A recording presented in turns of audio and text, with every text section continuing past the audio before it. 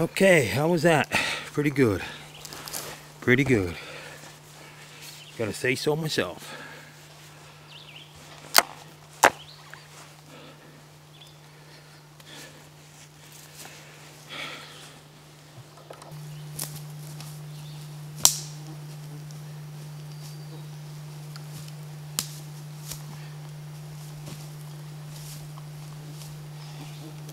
Well, there's a long beard out of the Adirondack Mountains on state land. Uh, came back in here. I was in there this morning. Someone shot, hurt some birds, so I came back in. These black flies are unbelievable. I tell you, if you're gonna hunt here, you better have one of these head nets, cause and a long sleeve T-shirt, because you can't stand the black flies. They're unbelievable.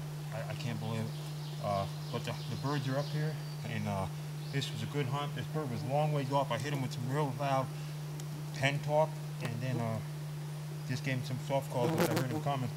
He came over the top of the mountain here above me, seen the decoys, came right on down to it. Old Jake Intimidator came through again. So, there you go, guys.